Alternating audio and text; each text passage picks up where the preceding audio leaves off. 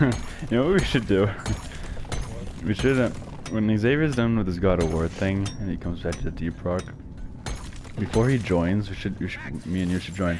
We should get that big, that beer that makes us huge, and then have it in our hands. oh, Oh. Hey. Hello. Eh. what's going on? Nothing. I just got home. Just finished showering.